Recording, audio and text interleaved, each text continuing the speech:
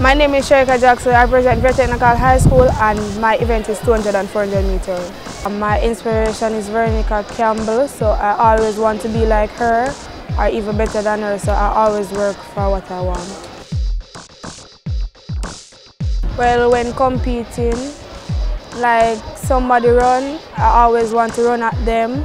And if they break record, I want to break back the record that they set. So that is a lot of push for me there. My perfect race, like when I get up and I hear the gun, I just get at who is on the curve because my favorite event is 200 meters. So I like get up and run at them, I catch them, I just move on the straight and hopefully a record will come.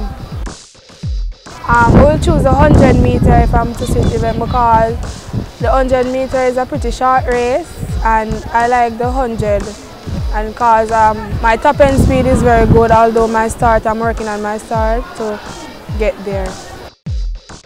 My favorite moment is when Vere Technical High School broke the 4x4 record. It was a great feeling because we have worked hard over the past years with the team that we had, we just went for it.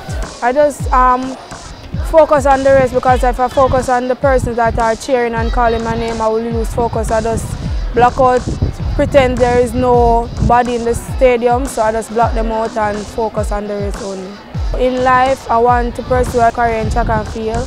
So I just working to accomplish all my goals. Well, I'm doing pretty well in business. I want to become a bank manager, so I'm working on it. I have seven subjects doing, so I will focus on those seven and work hard to um, get my education along with track and field. To competing with the under 20, I'm kind of a bit nervous. I always say they will beat me because they are bigger than me, but not because they are bigger. I can use um, size to compare. It's what you do that matters. My coach is working with me to improve my form, so getting, I'm getting better and better each time I'm at training. I always try to work on it. Everybody will be aiming to beat me because they know what I'm capable of, but I don't underestimate my competitors because I always say expect the unexpected. When I go there, I compete to the best of my ability. I always want to um, bring home medal and say, all right, I want to make my family and my coach and Jamaica proud.